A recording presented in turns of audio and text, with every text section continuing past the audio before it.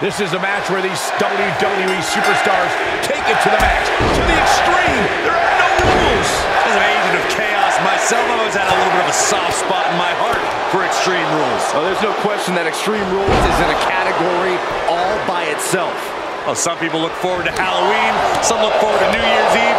Me, personally, I look forward to every Extreme Rules match on our shows.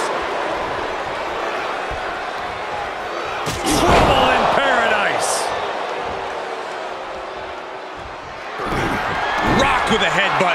And a follow-up. And that will do it. Not getting up from that one, so it's called. Here is your winner, Sergio Gonzalez. What? Why is... He's interrupting an important moment. This... And make no mistake, he isn't here to offer his congratulations. Maybe trying to deliver some justice here.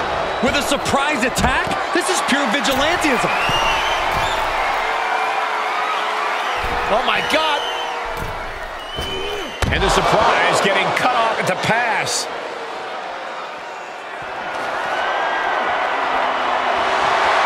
Oh, basically hammering their opponent into the floor.